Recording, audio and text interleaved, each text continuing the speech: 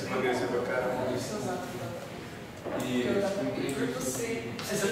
aí eu falei ó, eu não vi impacto, você tá muito preocupado. Não sei se vai ele vai ver, né? E aquela foto que ele fofoca no negócio do Deckmate? Ah, eu acho que, sei lá, não é meu não. Isso é Aves, né? Nem é ave. Nem é mais não. Multitasking. É, multitasking. Que eu vi lá no. Pô, o Vinícius trabalhando com uma hora aí de megafones, tipo, desenhando. É porque, cara, eles, eu tava sem internet, tá ligado? E, e aí, não, eu tava sem internet em casa, eu me mudei, e aí, cara, eu nem tava vendo e-mails. Tava fazendo coisa de casa, viagem, ajeitando móvel, blá, blá, blá, blá, fazendo mudança, e aí eu não tava olhando e-mails. Aí depois eu vi que eles me mandaram um e-mail pedindo pra eu criar uma imagem. FFCLP USP. Aí eu até anotei assim. É, É, mandei, podia não sei, mas manda o título do seu trabalho. E e manda uma imagem, não, mas eu acho que esse hipopótamo é alguma coisa que eu vai apresentar. Ah, tá. E aí eles falaram, ó, manda o título e uma imagenzinha, assim, eu mandei. Eu fiquei muito eu vi o negócio de manhã, aí eu anotei, tinha que fazer isso. Eu tinha que fazer uma película, e aí veio o cara da net, instalar a internet, e eu tinha que devolver o E aí eu perdi a chave, eu fui correr atrás de chaveiro. Se fosse uma E pessoa eu fui correr atrás de chaveiro e disse pro cara, pô, se você não entregar a chave hoje, você vai pagar o outro Cara, eu isso assim, ó. Assim que eu ajudou pra caramba, amigos dele, e, e aí eu... E o seu? Vocês têm que me avisar quando vocês pegam, né? E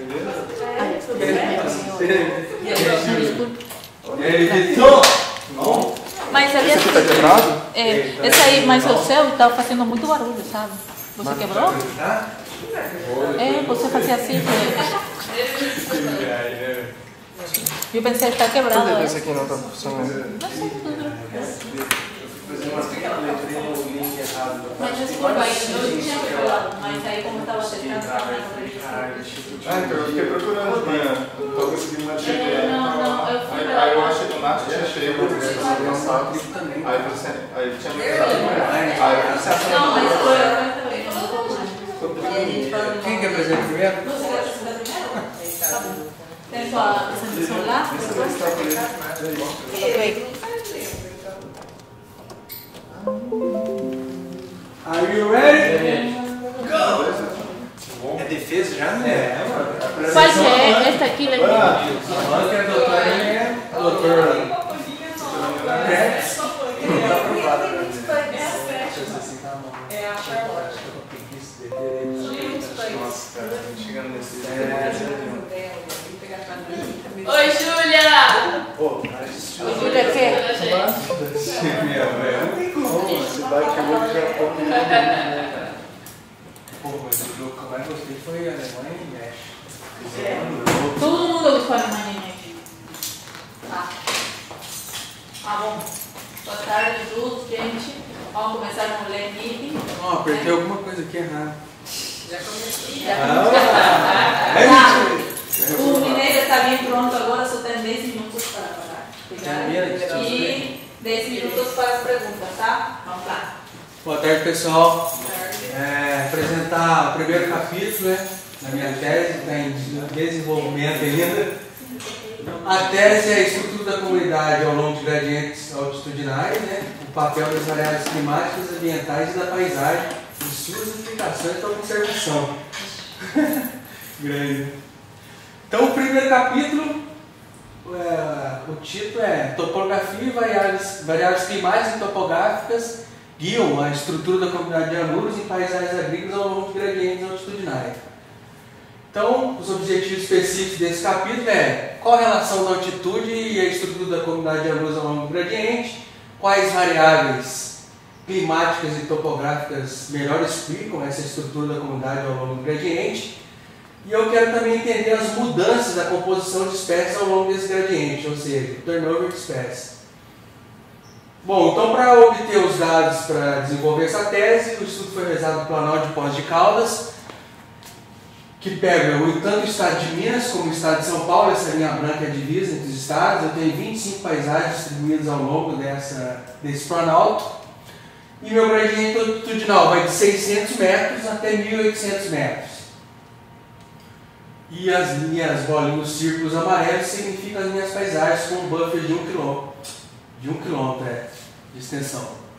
Bom, para a amostragem da Neurofollow, então em cada paisagem eu fiz 10 visitas em cada paisagem essas, e essa amostragem foi padronizada por tempo. Então cada visita durou uma hora em cada paisagem. Então cada paisagem, 10 horas de amostragem.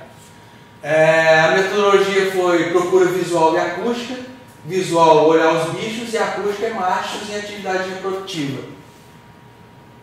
Bom, dentro dessas 25 paisagens eu encontrei 70 espécies de aluros, pertencente a nove famílias e 20 gêneros. Pô, eu fiquei bem satisfeito pelo número de espécies que eu nunca imaginava encontrar tudo isso, né? E nem meus orientadores, né? Então, o primeiro resultado é a influência da altitude na comunidade de Anuros. Então, esse é, é o clássico, efeito, é, o clássico padrão do efeito domínio médio. Então, ao longo do gradiente longitudinal, a gente tem três principais padrões o aumento da riqueza ao longo da altitude, que é o padrão mais raro, a diminuição da riqueza ao longo da altitude, que é um padrão bem aceito, e hoje em dia, atualmente, através das metas-análises e revisões de estudos, eles estão vendo, eles estão é, entrando em acordo que o efeito domínio médio é o padrão mais comum em todos os grupos em diferentes regiões. Então está aqui. Se a gente pode ver, o meu gradiente vai de 600 a 1800 metros, a minha comunidade está praticamente mil, mil e cem metros, então caiu no meio do gradiente. E como que o efeito domínio médio é um modelo nulo? O que é o modelo nulo? Que a gente elimina todos os fatores bióticos, climáticos e tudo, e ali na natureza acho que não existe isso. Então todos os autores que trabalham com o efeito domínio médio, eles relatam que você tem que colocar uma outra hipótese para tentar explicar. E na literatura, a maioria da, tem, existem inúmeras hipóteses só que eu passei para tentar explicar o efeito domínio médio através das variáveis climáticas, que foi a que eu consegui medir em campo, né, mensurei em campo. Então, se a gente pegar aqui, depois uma, eu usei as bioclimáticas, né, que é B1 até 19, fiz uma PCA para ver a correlação, e a variável que me explica o efeito domínio médio é a temperatura sazonal. Você pode ver que ficou até interessante, né? acompanha o gradiente de espécie, o gradiente de temperatura. Então, quem está mais explicando o meu gradiente ao longo do, do mais explicando a estrutura da comunidade ao longo do gradiente a temperatura, a sazonalidade da temperatura. Bom, outro resultado bastante interessante é a estrutura da comunidade ao longo desse gradiente.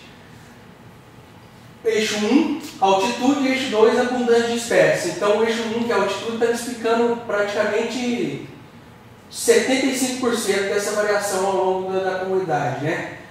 E a maioria dos estudos que tem publicados, eles conseguem separar em low é, é, a, a, fauna de terras baixas e, as, e a fauna de, das altas altitudes. Aqui a gente pode ver que eu consegui encontrar as baixas altitudes, que é o roxinho, que é uma comunidade, a comunidade média, que é o laranjinho, e a comunidade pretinha ali, que é das altas altitudes. Então achei outro resultado bacana e corrobora com a literatura que a altitude é um fator primordial para segregação dessas comunidades ao longo do gradiente. E o último resultado é a influência da altitude da composição de espécies de alunos. Então a gente dá para ver perfeitamente nesse gráfico que quando a gente vai subindo dos 600 para os 1800, vai havendo um turnover de espécies ao longo desse gradiente. Né? Outro resultado bastante interessante que essa figura me mostra é a hipótese que o feito. O que, que essa hipótese prediz? Que as espécies de altitudes maiores, por ter uma variação climática maior ao longo da especiação, eles conseguem ter uma ampla distribuição, justamente com essa variação climática. Ao contrário das espécies de baixa altitude, que elas têm uma variação climática menor, então a sua distribuição ao longo do gradiente também é menor pode ver que as espécies de baixas altitudes elas não chegam às altas altitudes. Ao contrário das, das espécies de alta, que pega todo o gradiente. Que mandamento do doutorado? Só Deus sabe, né? Obrigado.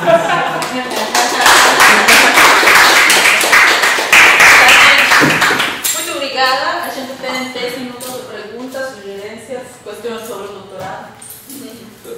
Pode chamar. Vai, vai. Você é o visitante, mas não.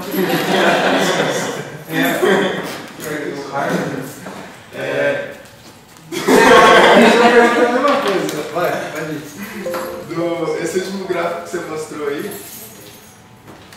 é, a- a- as espécies mais baixas elas, elas têm uma, uma amplitude menor. Isso quer dizer que elas estão mais, tão, são mais sensíveis a mudanças Mais no sensível à ambiente? mudança climática, com certeza. As, as de baixo? De baixo. Porque de topo a variação climática é muito maior.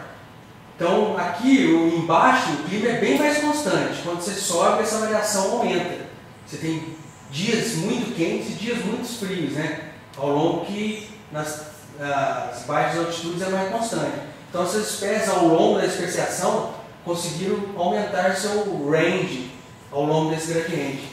E as espécies de baixo não conseguiram, porque elas são mais sensíveis a variações climáticas. Então ela tenta subir, mudou o clima, não consegue, entendeu? Deu pra entender ou não? Deu, mas eu achei esse gráfico super confuso. Por quê? Esse daí? Ah, não sei se é uma coisa minha, mas eu achei ele confuso. Mas sei. qual é a confusão? Tentar te explicar. Eu, eu tive que ficar pensando muito nele. Eu gosto. De repente é frescura minha, mas eu gosto quando você olha o gráfico você entende ele rapidamente. Aí eu tive que ficar, tipo, tentando entender por que, que a espécie lá de cima tá em tudo, o que, que significa o ponto final ali, por que, que ele é de uma cor, o que, que são as bolinhas no meio. Beleza, bolinha no meio é uma boa, eu te falei, é a abundância média das espécies. Isso é o range da espécie. Então, espécie que eu peguei nas menores altitudes e nas maiores altitudes. Então, isso é o range, né? É o tamanho que elas estão dentro do meu gradiente.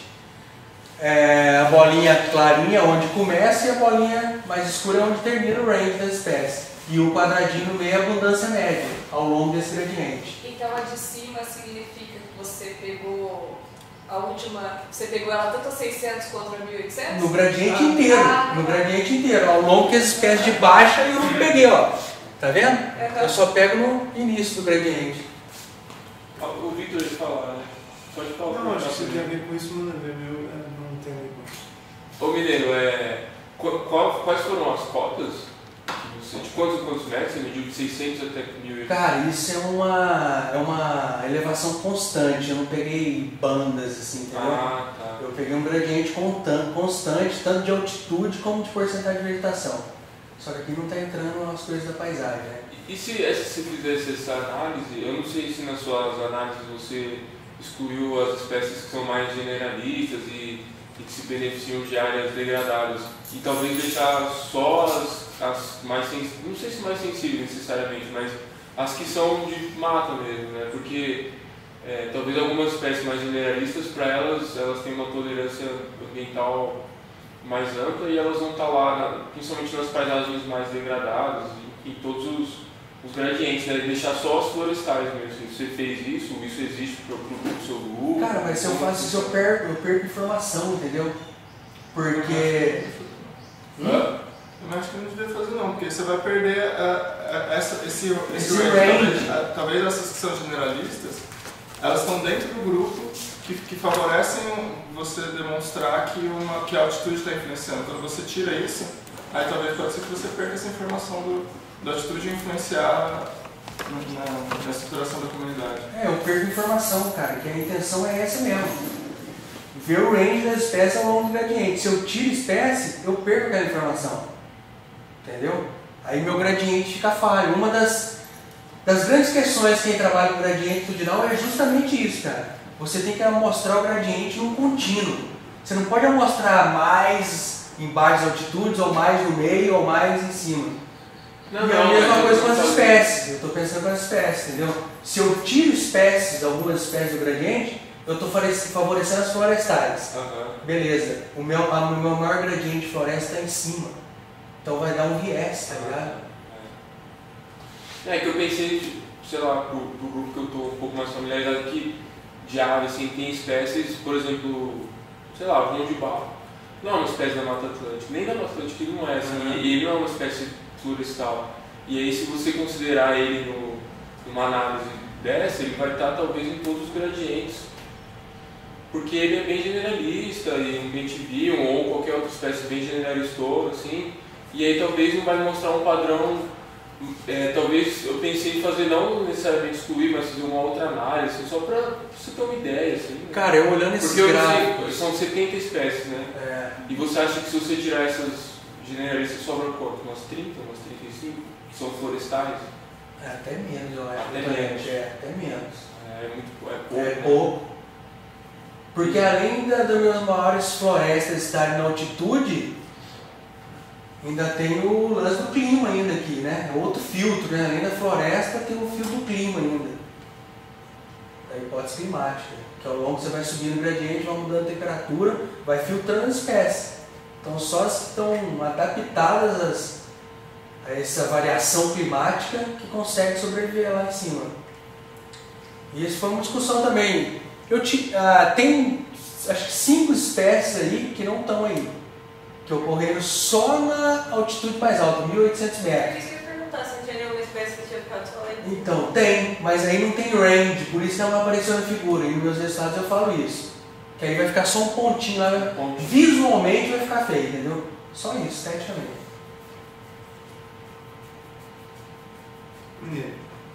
É, essa abordagem é ecológica e a conservacionista, qual vai ser dessa, desse capítulo?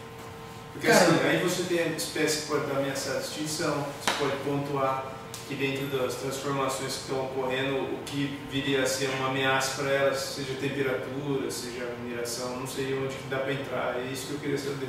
Então, com relação à conservação, para meus resultados mostra que não adianta você pegar e fazer uma uni- unidade de conservação, vamos supor, ou propor uma uni- unidade de conservação, pegando onde tem a maior riqueza de espécies.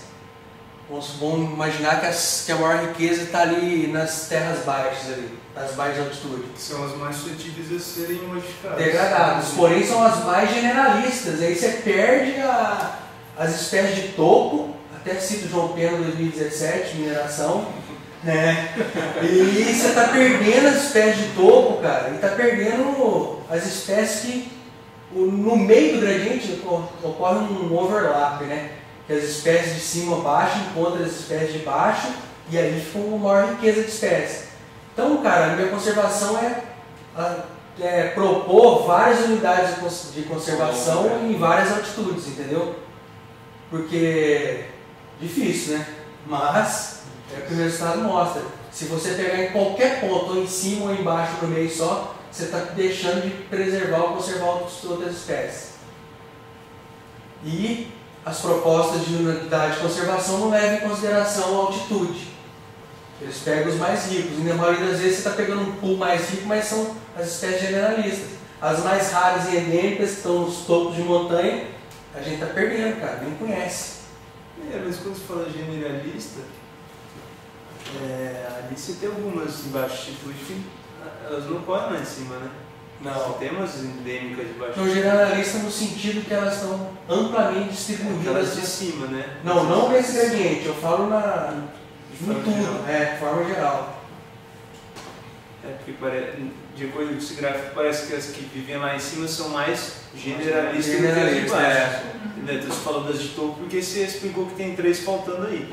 É, É, mas ali embaixo, ó, a primeira ali, ó, Leptodactylus alguma coisa. Mistacinos. Bem especialista nessa área. É. Existe um É, viés. todas elas, né? As Não, especialista em quê? né? uma, duas, é três, especialista quatro, em cinco, seis, sete. É de altitude, Até né, a oitava. É. Até a, oitava, até a nona, mais ou menos, todo mundo é abaixo de, de mil metros. É. Outra pergunta, a elevação e a temperatura não estão correlacionadas? Tá tudo correlacionado, né, cara? Se for pensar altitude, o, o resto tá que, tudo que, que correlacionado. explicou melhor? A elevação ou a temperatura? Elevação é a primeira e segunda e a temperatura. Mas você não tirou a correlação das variáveis? Tirei na primeira análise. Mas você não tirou depois? Depois não. Não, tirei na primeira. Você colocou tudo isso junto lá e tirou a correlação de É. E a elevação e a altitude E a, e a elevação e a, a temperatura explicaram. Estavam correndo, não estavam Não estava correlacionado. Ah, não, estava. Não estavam. Ou é que estava menos correlacionado. Estava né? menos É, menos correlacionado.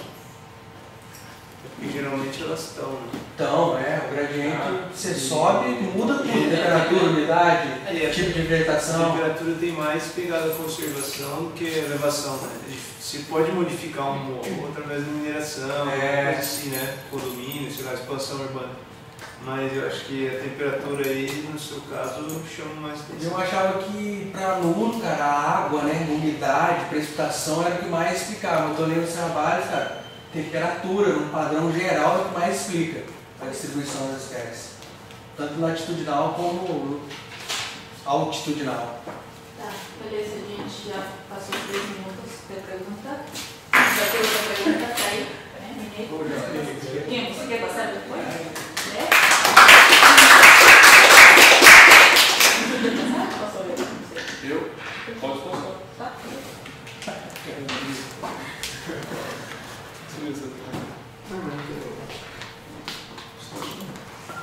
Pistola. Vocês estão aí? Você quer ir? Ah, você tá falando porque é que eu não sabia o que eu perguntei isso. Eu, você falou. Quem que vai apresentar agora? Eu não, não faço. Tá, beleza. Tá, espera aí, amor. Tá. Não, espera, espera, espera. Não, é você que já tá aberto, mano. É, apresentei. Tá, beleza, gente. Daí ele não tem caneta. Tá, beleza. controla aí porque a verdade é que eu preciso, né, É, mas foda mesmo. ver o tema do- dos minutos. Pessoal, eu estou fazendo aqui uma prévia sobre o que vou apresentar no congresso, é só para que a gente conheça o trabalho que está fazendo a gente com os data papers, né? O data paper que eu estou eh, conjunto a um grupo do Clarissa, Bruno e Fernando liderando, né, que seria o Tropical Invasive Mammal. Eu quero começar falando um pouco sobre a história desse bichinho aqui, que ele chegou a partir de 1904 a 1917 na Argentina, por causa de um rei, que ele queria eh, ter um bichinho para caçar lá, mas o rei nunca chegou e os caras da Argentina ficaram com ele e não, não eh, manejar eles. E, bom, ele começou a se expandir, chegando para Brasil em 1920. Em 1994 ainda se veían reportes grandes de manadas de mais de mil de estos jabalíes nos cultivos de, de milho, sorgo e também atacavam as, as, as ovelhas. Oh, vou falar em espanhol lá, né? tá, e a partir de agora se registram eh, anualmente só nos cultivos de milho, em São Paulo, a um 430 mil dólares de perda por ano por estes indivíduos, né? Então, o que está acontecendo com outros indivíduos? Tipo, a lebre, que chegou na Argentina em 1963, ele se foi expandindo até 2006 nas, nestes pontos aqui, né?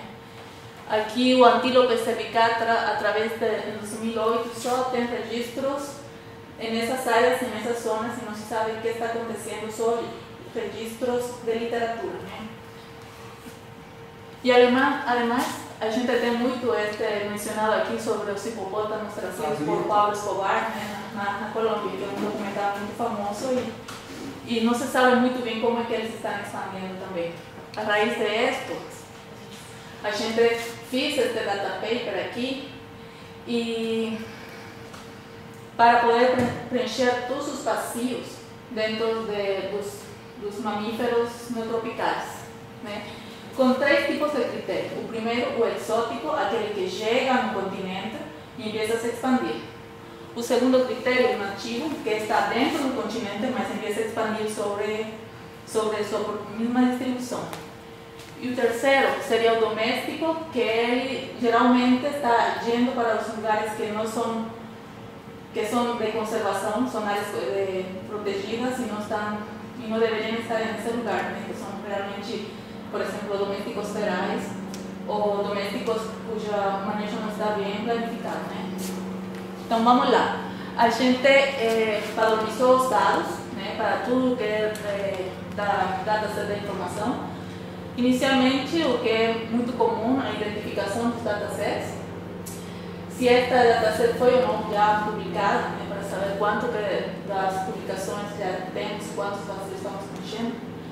Eh, especificaciones de la localidad, será o GPS, o, o lugar, o country, o país, o estado, etc. Y algunos uh, ah, datos adicionales como hábitat, si es una unidad de conservación o no, y que tenga a través de la matriz que está rodeando esa unidad de conservación Outra coisa que também a gente está, que, que acho que é a base mais importante, que é, que as especificações da mostra, né? que seria que espécie é, quando vocês viram, eh, e que tipo de métodos vocês utilizaram. Se você utilizar algum tipo de método, a gente deveria ter preenchido todos estes, que de acordo com o método que vocês pegaram. Né? Mas, assim, a gente tem dois, dois abas, dois abas, uma da não, três abas, uma da abundância com precisão, uma da abundância só e outra aba de ocorrência. Né? Aqui vou mostrar para vocês só da aba da ocorrência. Então, os resultados, alrededor estes são só de ocorrência, é, fomos, fomos é, ajudados por 550 pesquisadores de diferentes partes do mundo, de diferentes partes do continente. Tivemos 178 datasets, entre eles as categorias que maior foi, foi o nativo invasivo, e logo seguiu o exótico e o doméstico foram de 11. Só para ver como que as, os dados estão preenchendo, preenchendo dados, este Salvador e Fernandes, que recentemente eles publicaram este, opa, este trabalho aqui, em 2017, eles usaram os dados que eles tinham e a gente já está preenchendo tudo isso aqui só com ocorrência. Ainda a gente não, estes, estes dados aqui não estão tema da abundância nem as literaturas já citadas na parte do, do nativo exótico, este querodon rupestre do endêmico do Brasil, ele se encontra só neste lugar aqui, segundo a UICN em 2016, e a gente já está vendo que está, não sei se a palavra seria invadindo ou ampliando a distribuição mais eh, nestas regiões aqui, né? E bom, eu coloquei felicidades, que ele não tem um, um uma área de distribuição, né? mas a gente está percebendo que está pegando muitas, em muitas áreas de conservação e áreas protegidas dentro do, de diferentes partes do, do Brasil e Uruguai também, na Colômbia e Goiânia. Bom, gente, assim só para mostrar alguns exemplos, do, exemplos do, dos datasets, né? que a gente está fazendo, está aqui de uma maneira mais organizada e outras que a gente pode perceber que os caras estão fazendo censos lineais, né? E, e é isso. A primeira conclusão é que um dos, dos datasets maiormente, maiormente o mais amplo. O segundo é que está preenchendo muitos dados vazios. E, bom, o que a gente pode fazer com eles é maiormente que tipo de perguntas eles podem fazer ou podem ajudar. A uma delas poderia ser perguntas ecológicas que podem perguntar sobre seleção de hábitat dos, dos, dos animais, eh, ecologia da população ou algumas previsões de distribuição. Né? E, obviamente, perguntas que podem ser utilizadas só estes dados como variável. E é isso, gente, para mostrar para vocês tudo que já outras, a galera estava fazendo, né, que era o Atlantic Series. E os que já vêm, né, são aqueles que o Xenadra já foi sometido, no Tropical já está começando, estou aqui também. E é isso, mostrar também o trabalho já sometido de Xenatras aqui da Paloma Marques, liderado por ela, né? como que já está preenchendo tudo, tudo o continente. É isso, gente, também apresentar a vocês os caras líderes de Mammal Invasive, que são os caras realmente trabalhando mais por anos com, estas, com este tipo de espécies, né? E os professores. É isso. Graças. Obrigada. Esqueci de falar eu ia falar em espanhol, sabe, gente? Desculpa. Mas lá eu, eu vou falar em espanhol. Quanto tempo você? Oito? Obrigada.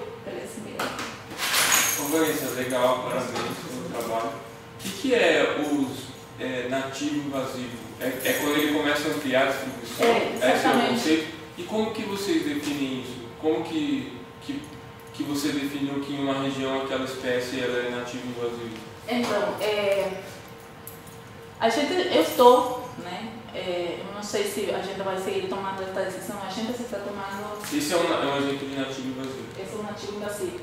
Então, o que a gente está eh, pegando são os dados que já o CN coletou né, sobre a distribuição deles e a gente só se esta distribuição está saindo, né? É assim. Mas se eles estão se dispersando só por causa do, hom do homem, do perda do hábitat, sei lá, né, é, que eles estão se distribuindo. Que a gente tem também dados de Lobo-Guará, no qual estão em regiões que nunca estiveram e foi porque quando eles faziam a soltura, soltura, solturavam em qualquer lugar, né? então está acontecendo também. A gente está tendo dados de Lobo-Guará em regiões que não, em teoria não deveria estar. Uhum. Mas é, como é que a gente pega essa informação? Então a gente estava pensando pegar os dados da distribuição e pegar todos, distribuição nativa, e pegar todos os dados assim, desse mesmo jeito, assim, opa, né? Ver qual é que eles estão por fora. Mas essa é uma análise que eu acho que a gente não vai chegar a fazer dentro de um data, de um data paper. E aí fazer, mas seria mais ou menos baseado no usando, considerando o polígono da IUCN, ou seja, os seus ciências tão fortes, consideram que a espécie está invadindo o ambiente que ela não ocupava antes. É, então, não sei se vamos utilizar realmente esse polígono aqui, uhum. Sei a verdade como é que ele vai terminar, porque a verdade, eu, eu tenho entendido que a gente não vai apresentar diferenças assim, como estou apresentando ele. Né? A gente só vai apresentar os datasets. Já quem quiser estudar vai ter que ver com qual né, com qual tipo de, de dado ele vai fazer as, as diferenças. Até porque, fiz o curso da UCN aqui, tem muita área de vida dos bichos que é totalmente desatualizada, galera. É. Então você não pode se basear nesse negócio da UCN, não. Isso aí é lenda. E, e não, porque é difícil, é, é, grosseiro. É, grosseiro. Uhum. É que geralmente o que o pessoal tem feito nos outros data papers é se basear na ISQN, aí eles pegam os pontos que estão tá fora ou que estão tá na borda e mandam para os especialistas entendeu? Aí os especialistas discutem entre si para ver se isso bate ou não, se está errado. Só que aqui é tipo muitas espécies, então é, não sei se dá fazer isso aqui. É, são quantas? Então, o total. São 20. Estão divididos assim, né? Mas, por exemplo, na abundância, a abundância com precisão tem um mais que uma, uma como que se chama? Esquilo, um esquilo mais, então seriam 22 espécies aqui. Logo seria tudo igual. Esse é o Calério. Não tem outro. É, é Calério que foi se Se você pintasse essas bolinhas amarelas das cores do gráfico, ficaria legal. Então não pensei mais aí como eu fiz agora não. No tempo não. Não, apresentação. Ela fez é, é fácil para provar a sensação de verdade. É, não, eu vou apresentar isso assim, desde julho, para aí, sabe? Desde 15 é. de julho, estou com tempo ainda. Por isso eu queria, queria ver como que eu como é que eu apresento primeiro, né? Não, mas está muito legal essa apresentação. E dois, queria também, se vocês acham que eu estou viajando também algumas coisas, porque, por exemplo, eu dudei muito, tipo assim, eu queria colocar muito sobre que tipo de perguntas poderiam fazer, poucas que assim entraram na cabeça agora, né? Mas eu acho que é muita coisa mais além disso que estou colocando aqui. Acho que inclui um, um ou dois slides dizendo o que é um data paper. A galera uhum. não conhece. Quanto tempo você tem? 10 minutos? 10 minutos. Então acabou, próximo. Não, não, as perguntas, né? Eu tenho que avaliar isso, se dá tempo. É. Um slide só de Eu usaria outra espécie para dizer o nativo exótico. Pegaria o Calitrix saurita ah, nativo seu É, porque o bicho ocorre na, naturalmente no Nordeste não, e ele é invasivo lá em tipo, Santa Catarina, sabe por, dados. Sabe por que não peguei não, ele? Porque temos muitos dados mais híbridos, sabe? Muito mais dados de híbridos. Aí eu fiquei pensando, será que colocou junto com esse? Será que colocou dentro daquela distribuição como eu tinha que apresentar agora? Então, como é decisão rápida. Mas só, eh, não ficou muito claro para mim, nativo invasivo, se você está considerando só os que, por exemplo, no exemplo do Calitrix, né, que é o bicho do Nordeste, ou do Cerrado, dependendo da espécie, Jacto ou Penicillata, que o homem trouxe para a Mata Atlântica e aí ele se tornou um invasor em regiões de Mata Atlântica, uhum. e aí considera uma invasão mesmo, né? Ou se você considerou também espécies que estão ampliando sua distribuição exatamente. por causa de alteração do hábito, de mudança climática. A gente está fazendo as duas coisas. As duas coisas, porque na, México, México, é, eles também faziam, é, fizeram a mesma pergunta que você fez, né? Porque tem um canis latrans lá, que ele está se distribuindo maiormente. em outras regiões, mas é só por alteração dos, do hábitat, sabe? Porque ele usa mais hábitats abertos, então está distribuindo rapidamente para áreas que eles não estão. Né? Mas assim, maiormente a gente está confiando na, nos datasets dos, das pessoas que estão colaborando. Né? Eles são muito também, muito, como que se pode falar? Eu acho que eles são muito metódicos também, porque eles perguntaram muito, muito, assim, para não errar, sabe? Foi um, um tema que a É, gente tem que estar Mas pensando. Porque se errar no data paper, todo mundo vai errar pra frente, cara. Entendeu? É, Essa que é a grande questão. tá, gente. Muito obrigada. Valeu. Vamos colocar aí. né?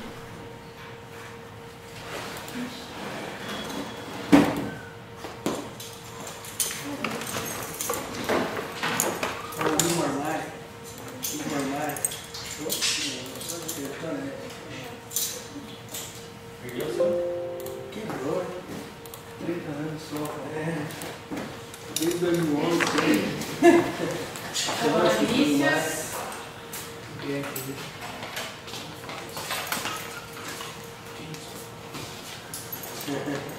Bom, gente, boa tarde a todos. Obrigado pela presença de vocês, obrigado pela Vanessa e por toda a comissão que organiza o Mac Meeting, pela oportunidade.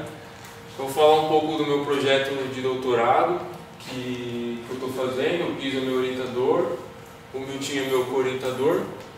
E eu estou tentando abordar no meu doutorado, a minha ideia é abordar esse, essa relação entre produção agrícola e biodiversidade, né, que é uma questão que é bastante desafiadora do ponto de vista da conservação, que é a, a expansão, a, a, a necessidade né, de novos cultivos agrícolas, elas, ela vem crescendo cada vez mais, porque a população humana ainda está se expandindo bastante.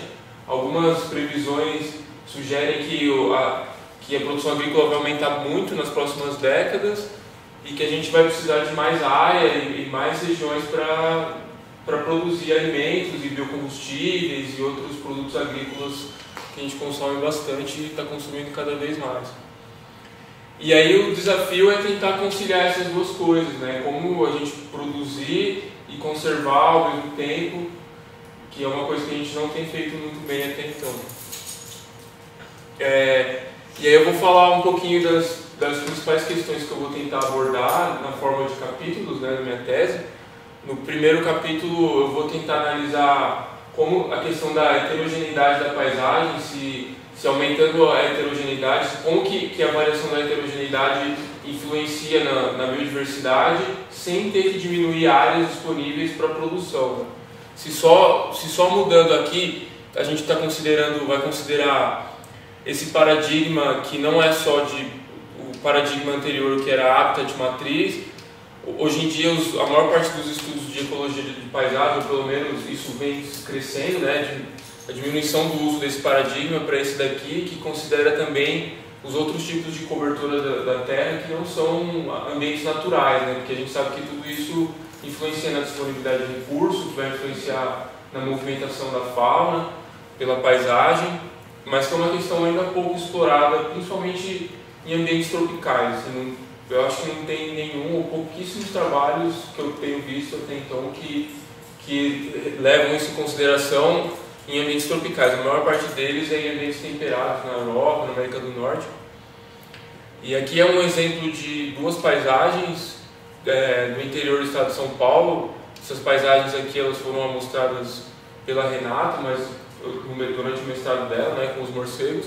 Mas eu coloquei aqui só para ilustrar, né, como que que as que duas paisagens elas reais, né, próximas da gente, e que elas podem variar em relação à heterogeneidade, talvez até sem variar tanto na quantidade de habitat, né? Aqui o, a gente vê que o número de tipos de cobertura do solo é menor, o tamanho das manchas, tanto de produção agrícola quanto de ambientes naturais é menor também em relação a esse daqui. Aqui a legenda está meio pequeno, mas mostra os tipos de, de uso da terra, né? tanto agrícola quanto natural. E a pergunta é, né, será que, uma das perguntas que eu estou interessado é, será que o aumento dessa heterogeneidade, ele consegue, a gente consegue aumentar a biodiversidade na paisagem sem diminuir a área disponível para produzir? E aí, para isso, eu vou usar os Atlânticos, né, que, todo mundo já sabe, que, que é uma série de base, uma base de dados muito grande para a Mata Atlântica. E um diferencial dessa base é que eles, eles mostram principalmente dados de abundância para vários táxons. Né? E aí, para o primeiro capítulo, a minha ideia é relacionar essas duas variáveis. Como variável resposta, eu quero usar a riqueza de espécies e a riqueza funcional dos organismos que estão lá e a functional evenness, né, que é essa a riqueza funcional seria o número de grupos funcionais que tem na paisagem, porque o número de número de espécies é uma variável que pode não ser muito boa por uma série de questões. De, por exemplo, às vezes uma paisagem tem um número de espécies grande, mas tem espécies generalistas e que são pouco preocupantes do ponto de vista da conservação, né, por exemplo. E functional evenness é o quanto que essas, esses grupos funcionais eles não variam, eles são homogêneos né, ao longo das paisagens. Então, se você um functional evenness mais baixo, por exemplo, é quando uma espécie, um grupo funcional, uma espécie não, um grupo funcional, ele é muito abundante, muito comum e os outros grupos são pouco abundantes. E quando ele é mais homogêneo é quando, de forma geral, todos os grupos funcionais eles têm mais ou menos, ocorrem mais ou menos a mesma abundância. E essas variáveis eu escolhi elas porque elas, é, de forma geral, elas têm alguma relação com as funções do ecossistema, né? não, não só o número de espécies, mas se, se esses números esses números podem indicar quão, quão bem aquela paisagem está sendo em manter a, as funções para os ecossistemas e, consequentemente, os serviços ecossistêmicos podem ter uma relação, mas não, não necessariamente. Mas, de alguma forma, mede e indica, talvez, a qualidade do ambiente, não só por, por riqueza, número de espécies. E aí, os grupos que eu vou usar para esse, esse primeiro capítulo seriam aves, morcegos, mamíferos terrestres e primatas. Eu vou medir essas, baseado na abundância desses grupos que estão nessas bases de dados, né, eu vou medir essas variáveis e vou relacionar isso com variáveis de paisagem que me, que me indicam heterogeneidade. Essas variáveis eu escolhi elas baseadas em, baseado em outros estudos que eu vi na literatura que fizeram algo semelhante, mas para a América do Norte, para a Europa que é a diversidade dos tipos de cobertura do uso da terra para as culturas agrícolas, é um índice de Shannon para a cobertura do, de uso agrícola, o tamanho médio do, da produção agrícola, o tamanho médio dos fragmentos florestais e a proporção de floresta, que eu acredito que essas variáveis elas são importantes para para predizer a biodiversidade e elas indicam a heterogeneidade da paisagem de forma geral. E uma questão aqui também que eu gostaria de falar é que a maior parte dos estudos, além deles serem na América do Norte, todos eles foram, em áreas temperadas no geral, todos eles foram feitos com poucas paisagens, assim, em áreas, em regiões pequenas.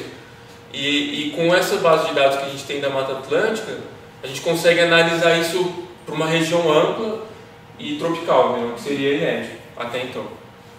E só os, com base de dados que a gente conseguiria analisar para regiões do Nordeste, Sudeste, Sul. E essas três paisagens aqui são paisagens reais, uma aqui perto do, de Linhares, de Soretama, lá no Espírito Santo, outra aqui no morro mais próximo do Morro do Diabo e outra aqui no sul, próximo de Foz do Iguaçu, essa daqui é três. Só, eu coloquei aqui só para exemplificar como que, que a heterogeneidade, tanto de composição quanto de configuração da paisagem, pode variar ao longo da Mata Atlântica. É, aqui são os meus resultados esperados, as curvas do, da diversidade, da riqueza funcional e da homogeneidade. Eu não sei a tradução desse termo em português, do functional evenness. Equitabilidade. Como? Equitabilidade. Equitabilidade. Funcional e a riqueza de espécies de acordo com cada uma das variáveis, né? Isso aqui eu fiz mais ou menos baseado nas coisas que eu tenho lido, mas eu espero de forma geral que, que paisagens mais heterogêneas elas vão apresentar níveis maiores de biodiversidade, que são essas variáveis que eu estou usando para chamar, estou chamando de biodiversidade. Né? E, e, aí, por exemplo, a diversidade dos tipos de cobertura da Terra, eu acredito que quanto, conforme essa, essa variável aumenta, a biodiversidade vai aumentando também, até um ponto que, se isso aumenta muito, os, as minhas manchas, tanto de coberturas agrícolas quanto de ambientes naturais, elas ficam muito pequenas e vai ficando inviável para sustentar as populações naturais e aí se aumentar mais começa a diminuir a biodiversidade. Isso aqui só, só para exemplificar.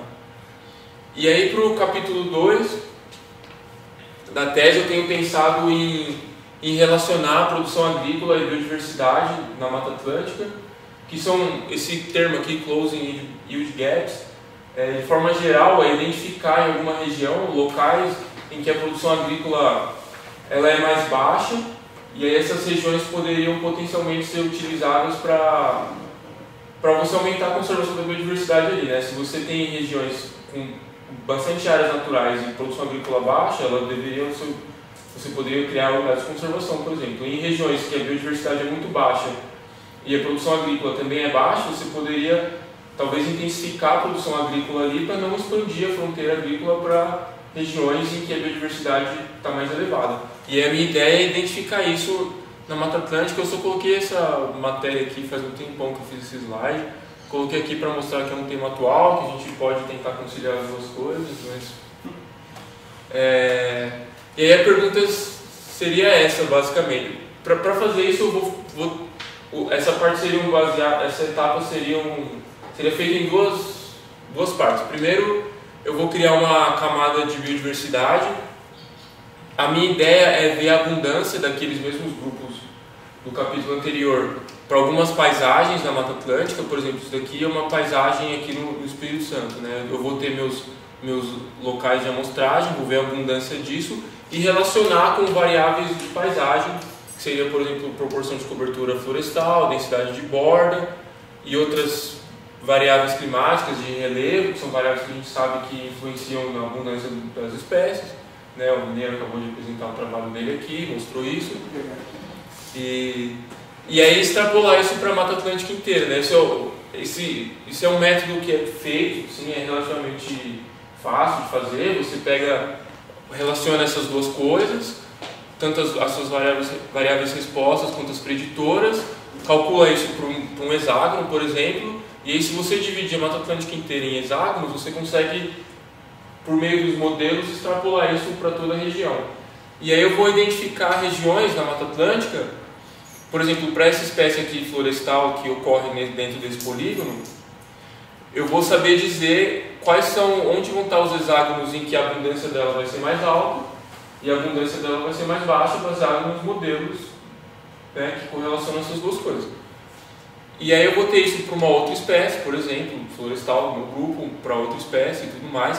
E aí vamos supor que eu some esses rastros aqui, eu vou ter áreas em que a abundância de espécies florestais que eu utilizei são mais altas e mais baixas. E aí eu, essa seria a minha variável de biodiversidade para esse capítulo. Ficou claro isso? E aí depois criar uma, uma camada de produção agrícola que isso daqui, acho que quem vai me ajudar vai ser a Juliana, mas eu não atualizei esse slide porque ainda estou trabalhando nisso. Que a gente vai criar uma camada de produção agrícola, analisar cada tipo de uso da terra e ver o, medir, extrair alguma métrica de produção para cada um dos pixels. Então, por exemplo, baseado em, utilizando base de dados né, que, que estão disponíveis online, eu posso saber que aqui, por exemplo, tem um, um pixel que é de cana de açúcar por exemplo. E aí eu consigo saber qual que é o rendimento médio ali de produção em termos monetários da cana-de-açúcar para esse pixel. E eu consigo fazer isso para todos os outros pixels. E eu consigo criar uma camada de produção agrícola para o Mata Atlântica. E eu posso relacionar essas duas coisas para cada pixel. Se eu pegar um pixel aqui, eu vou saber qual que é o valor de biodiversidade dele, baseado na minha camada de biodiversidade, e o valor de produção. E relacionando tudo isso, eu vou encontrar áreas, por exemplo, em que a biodiversidade ela é bem baixa e a produção agrícola também é bem baixa. Talvez áreas degradadas seja um exemplo em que essas duas coisas acontecem, né? Eu vou ter áreas que, por exemplo, a produção agrícola é bem alta, áreas de plantação de soja, de cana mesmo, e que talvez a biodiversidade seja baixa nessas paisagens. E fazer isso para a Mata Atlântica inteira.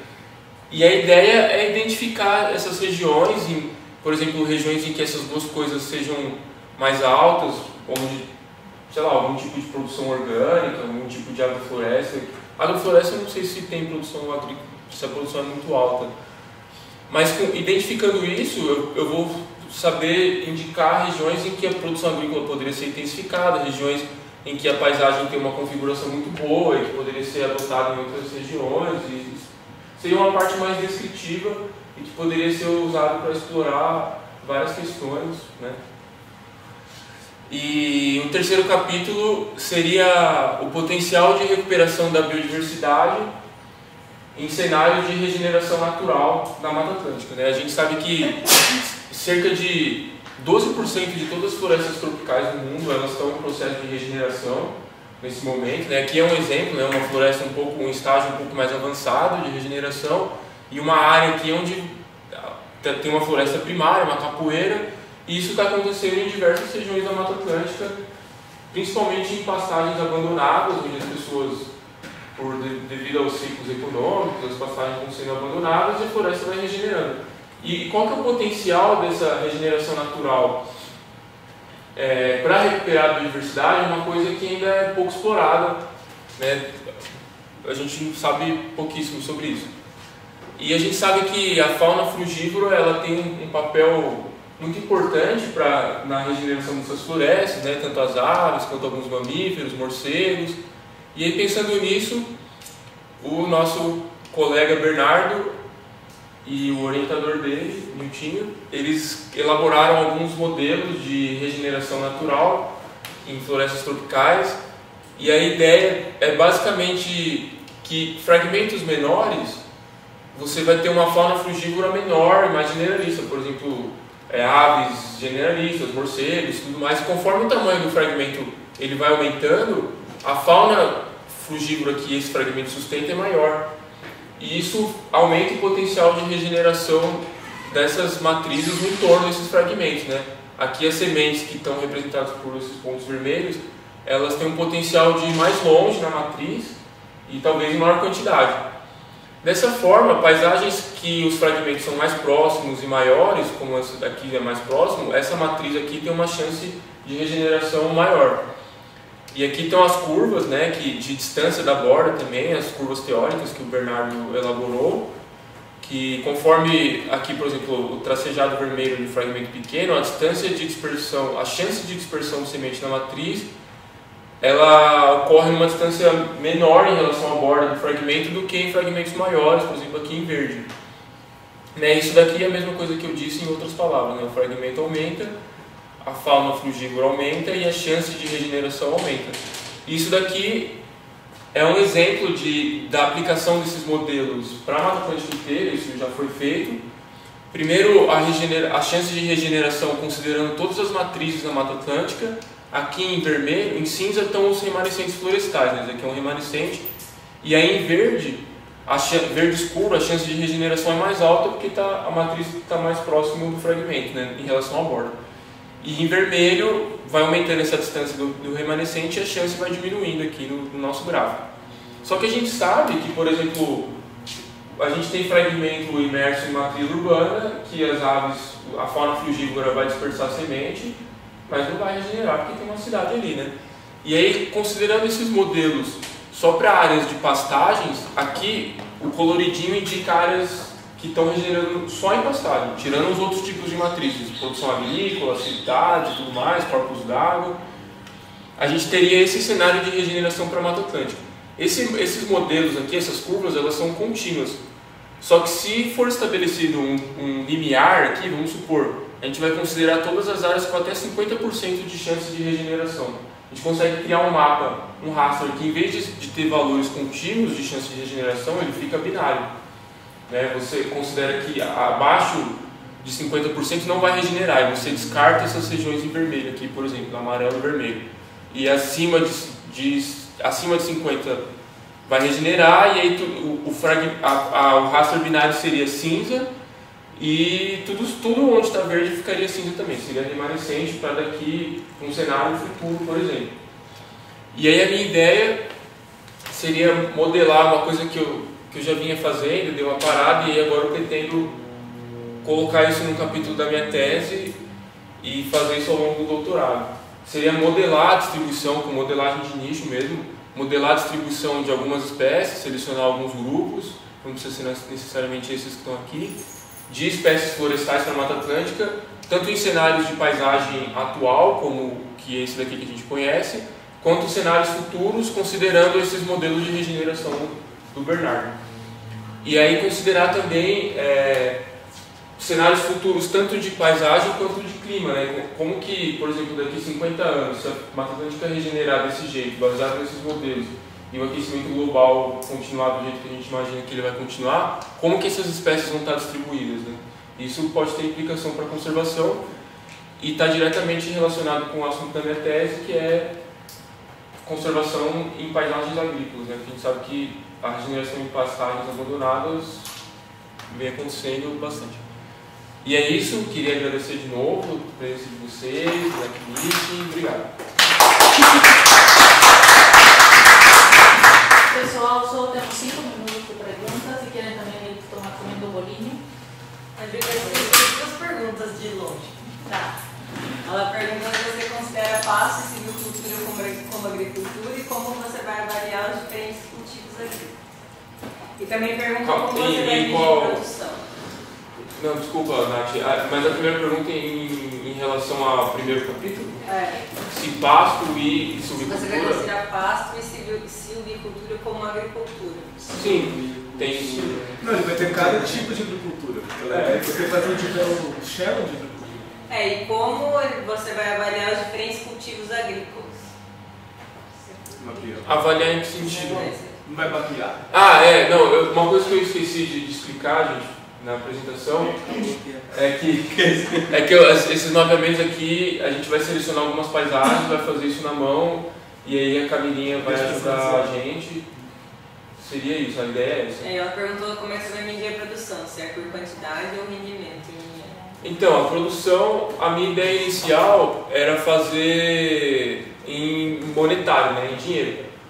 Mas aí eu- a Juliana acho que já fez alguma coisa e ela vai me ajudar, mas ainda não está muito definido isso. Que é uma coisa que eu tô, que eu tô pensando que ainda vou, vou me aprofundar melhor. Mas a princípio eu pensei em, em extrair uma variável de rendimento em termos monetários. Tem uns, tem uns bancos de dados bem bons, assim, você pode ver como é que eles fazem. Assim. A Juliana, eu já, eu já conversei com a Juliana, ela trabalhava no mesmo projeto que eu. Então ela já tem. Assim, Rio? Eu trabalhava no Brasília, mas é o PPB. Ah, tá. é, aí entra até. Posso? O, o último capítulo, a galera tá fazendo uma coisa meio parecida com o que você vai fazer. Você já falou isso com a Juliana que você vai fazer? Ah, então ótimo, porque aí ela consegue direcionar você para não ficar tão É. igual o que a galera tá fazendo lá. Mas é basicamente modelar a distribuição potencial de todas as espécies, da, para todos os biomas e para avaliar, é, direcionar é, áreas prioritárias para restauração. Né? Que a gente estava fazendo isso lá em Brasília, eu estava fazendo essa parte lá em Brasília. Aí uma coisa que eu queria te perguntar. Júlia, assim, se eu não, se eu não respondi suas perguntas, é, me avisa, por favor. Avisa não. Menos alguma coisa. É, o, quando eu estava pensando no seu primeiro capítulo, você pensou em usar, tipo, sei lá, é, a cultura dominante, assim, como uma variável?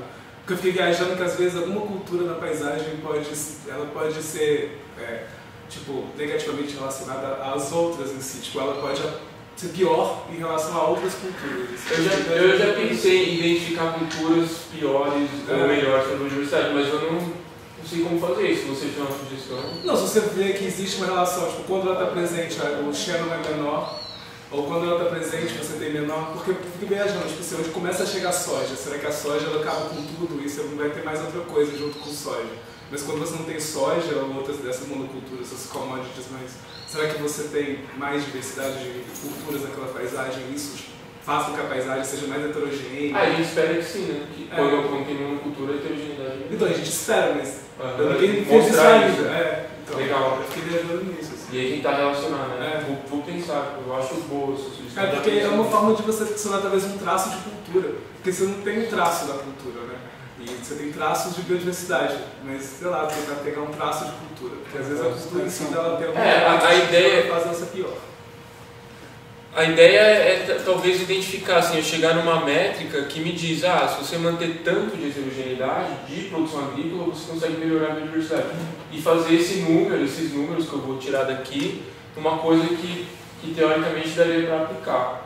Né? E, e, e- isso vai, isso que você falou vai nesse sentido, né? De Sim, você sim. ter uma informação que, que dá pra ser bem aplicada. Sim, o manejo, tal, de paisagem, planejamento, isso é legal. É, legal, obrigado. Ô Vinícius, não tem um artigo do Martin de 2014 que quantificou? Martin, sim. É, do tanque. de acho que o valor para recuperar a Mata Atlântica, ele deu uma quantificada Ah, tem. Da, da Chris Banks, que ela imprimiu o autor, É, acho que, é, acho que é isso aí. Eu não sei se é da Banks ou. Tem pra também. Depois ele fez um, ela lançou a Cristina, né? É, Banks Leite, é esse? Aham. Ela fez acho que em 2002, depois o Martin se lançou em 2014, eu não sei, é, publicou em 2014. Eu tô achando que ela fez uma coisa e ele fez outra muito parecida, com biodiversidade, a dele. E a dela foi mais questão de, de valores, né? É, o que, É que faz tempo que eu disse aí, mas. O que eles fizeram é assim, eles, eles usaram os valores de limiares e viram que cerca de 30 35% de vegetação na paisagem e a biodiversidade é boa. Aí eles identificaram paisagens que tinham uma, uma quantidade de hábitat acho que acima de 10, 15 ou 20 Seja bem. e o custo para restaurar para chegar, é, da Science, para chegar até 30, 35 e aí fizeram para a Mata Atlântica inteira. É, Mas, mas eu acho que vai- vai- é parecido com essas extrapolações assim, talvez seja mais parecido com o meu Parecido. segundo capítulo. É, o- É, agora só para finalizar.